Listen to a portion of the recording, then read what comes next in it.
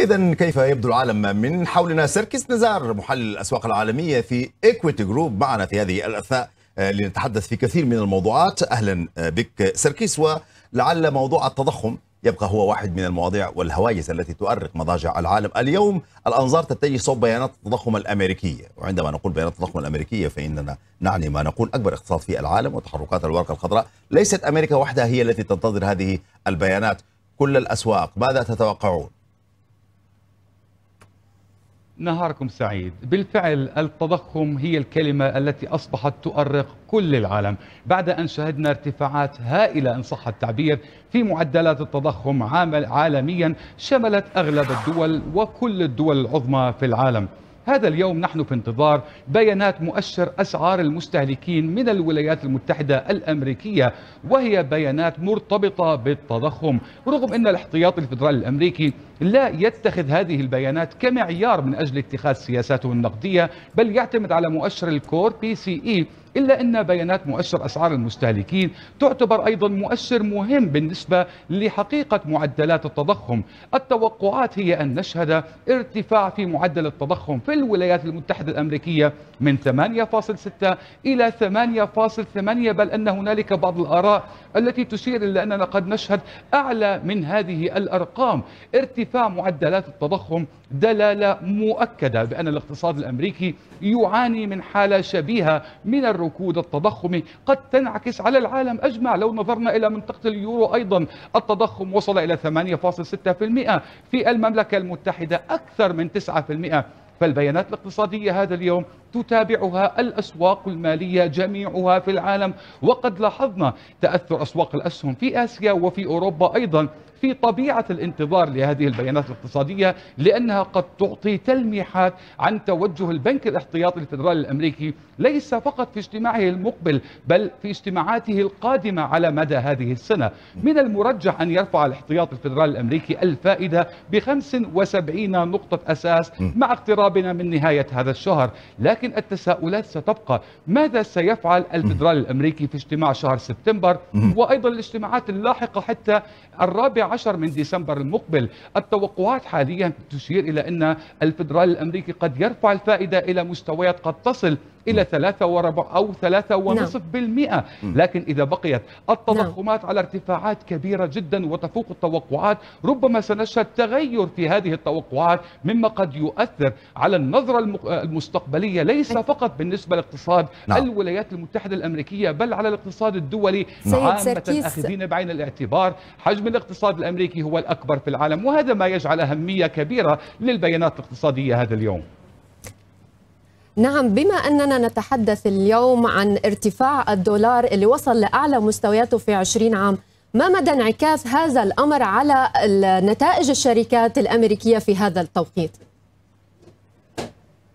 الآن بالنسبة لارتفاع الدولار الأمريكي له العديد من التأثيرات. يجب أن نأخذ بعين الاعتبار السرعة الكبيرة التي ارتفع فيها الدولار الأمريكي، الارتفاع في الدولار الأمريكي قد يكون سبب للتأثير على مدى قصير بإيجابية بسبب إن ارتفاع الدولار قد يقلص من تكاليف الواردات الأمريكية، لكن على المدى الأبعد قليلا الارتفاع الكبير في الدولار له تأثيرات سلبية إن كانت على الميزان التجاري، إن كانت أيضا على النمو الاقتصادي وبالتالي أيضا على الشركات الأمريكية، الشركات الأمريكية تحتاج الآن ميزة تنافسية. إذا أخذنا الآن ارتفاع الدولار كواحد من المتغيرات التي قد تكون ضمن ال ال الأشياء التي قد تشهدها الشركات كمتغيرات أساسية في المستقبل فارتفاع الدولار الأمريكي قد يقلص الميزة التنافسية للشركات الأمريكية واستمرار ارتفاع الدولار بشكل متسارع قد ينعكس بالسلب على إجمالي الشركات الأمريكية. هذا إذا استمر ارتفاع الدولار بشكل متواصل وشكل سريع. صحيح سركيز يعني تعادل الدولار واليورو هذه مباراة آه، مهمة نتيجة تابعها. العالم. على كل تعال نتحدث عن الورقة الخضراء تأثيراتها على على الطاقة على النفط. يبدو أنها بدأت تتضح بشكل كبير والذهب آه، على وجه الخصوص. سركيس الآن بالنسبة لارتفاع الدولار الأمريكي هنالك أثر آه، شبه مباشر على أسعار الطاقة وأسعار النفط. نحن نعلم بأن أسعار الطاقة مسعرة على الأغلب عالميا. بالدولار الأمريكي. وعندما يرتفع الدولار الأمريكي فهذا يساعد بالتقليل نوعا ما من الارتفاعات التي تشهدها أسعار الطاقة والتي منها أسعار النفط. لكن يجب أن نأخذ أيضا حقائق أخرى إلى جانب سعر صرف الدولار مقابل سلة العملات عندما نتحدث عن أسعار الطاقة وتحديدا النفط. قوة الطلب والعرض والتوقعات المستقبلية لقوة الطلب والعرض هي المؤثر الأساسي في أسعار الطاقة. وحاليا نشهد هنالك بعض التوتر تجاه احتمالية ركود اقتصادي عالمي. هذا الركود الاقتصادي العالمي ربما سيكون سبب لانخفاض الطلب العالمي على النفط وهذا هو السبب الرئيسي الذي جعل أسعار النفط تنخفض خلال الفترة الماضية. أما إذا أخذنا الذهب كمتغير آخر فأسعار الذهب المقيمة بالدولار الأمريكي بالفعل تشهد ضغط كبير جراء الارتفاع الذي آه، أستطيع أن أصف بأنه هائل في الدولار مقابل سلة العملات.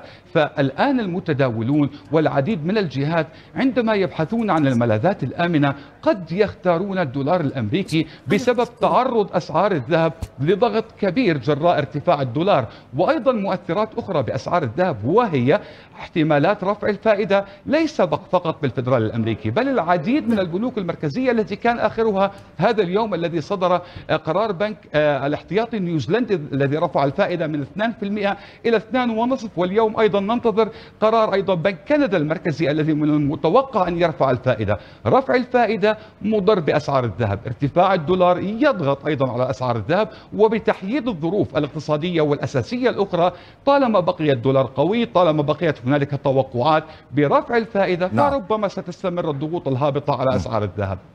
نعم سركيس نزار محلل الأسواق العالمية في مجموعة إكويتي جروب شكرا لك.